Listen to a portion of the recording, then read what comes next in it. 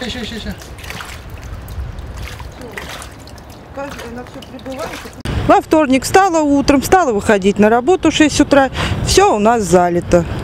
Текет большой ручей сюда. Дети, 6 человек прописано.